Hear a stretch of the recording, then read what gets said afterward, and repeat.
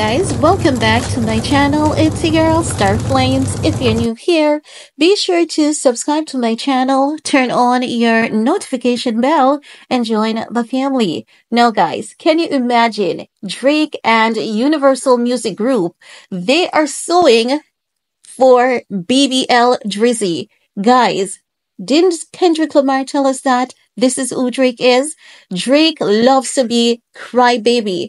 Can you imagine? You are suing someone under the claims of copyright infringement cases. Make note, the very same Drake did a collaboration with Sexyy Red on that BBL Drizzy. So how do you turn around and then sue someone claiming that you use developers behind a software for training their AI models with labels and unlicensed sound recording after you did a clapback or track with Sexyy Red, right?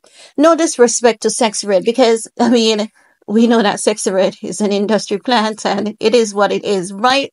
But the point is, this is what Drake does. Drake is a crybaby.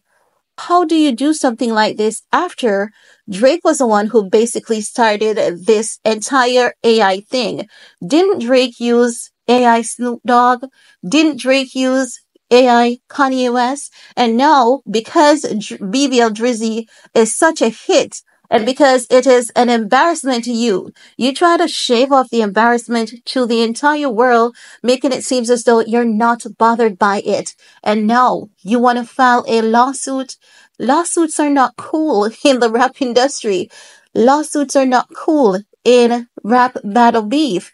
And this is really proving, as Kendrick Lamar says, we really have to be careful about who you let into certain categories. And it's not as though Drake is respectful of the industry because when he does these things, you can tell that he's not respectful. He's definitely not. He comes in, he pirates everyone that he can. But when he tries to disrespect someone, because that's what he did, he told Metro Boomin to go ahead and make some beats and stop wasting his time. And Metro Boomin was like, okay, I'll go make some beats. So after Metro Boomin made the beats, something that Drake has done before, use AI and a sound that exists. Something that Drake has done before something that Drake is so familiar with. You're gonna file a lawsuit. You're gonna you know, do your little plot behind the scene, round up everyone to say, you know what, we're going to take him down. This is not going to turn out good for Drake. I think that we are officially seeing the ending of Drake's career. And this is why Drake basically deleted everything as it relates to the Rap Battle Beef from his Instagram page. And I believe that by now he has deleted those AI versions that he did as well from his Instagram page because he doesn't want to be held um, accountable for anything. You know, it's as though he's saying, I should trouble you, but you should not trouble me. I should hit on you, but you should not hit back on me, you know? And I'm talking about physical punch. I'm not talking about flirtatious manner, right? No. Let's get into this report. They're saying that the Recording Industry Association of America, the trade group on behalf of labels including Sony Music Entertainment, UMG Recordings, and Warner Brothers, filed two copyright infringement cases against AI companies Suno and Uncharted Labs, the developers behind Udio for training their AI models with the labels unlicensed sound recordings. So basically, again, they're talking about that BBL, Drizzy, that kind of thing, right?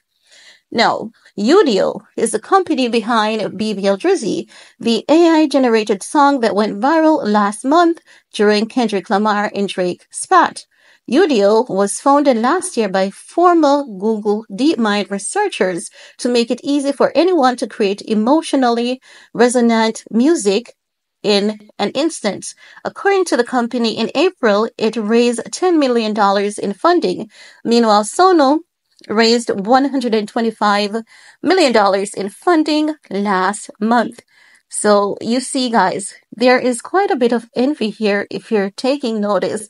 I think that the envy arises from how well these companies have been doing in that short space of time. I believe that Universal Group, Warner Brothers, they're seeing some amount of threat here to their artists because if Metro Boomin was able to do something so spontaneous as that, something that people are obsessed with from all genres, because we saw everyone from all walks of life, you know, doing their own version of BBL Drizzy. I think that that song has shaken up um, the business um, aspects of things for these record labels. And as such, I believe that there's more than what they're putting to the forefront about this lawsuit.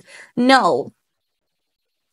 They're saying that um, Udio and Suno did not immediately respond to the request for comment. So there's no immediate response. Um, they're saying that RIA CEO, RIA CEO Mitch Glazier said in a statement that the lawsuits are necessary to reinforce the most basic rules of the road for the responsi- responsible ethical and lawful development of generative AI system and to bring Suno's and Udio blatant infringement to an end. It's the money that they're making that is having these people butthurt. They're saying that he added that the music community is already partnering and collaborating with responsible developers to build sustainable AI, AI tools that puts artists and songwriters in charge, but unlicensed services can exploit an artist's work without consent or pay setback. So they're just using whatever I believe that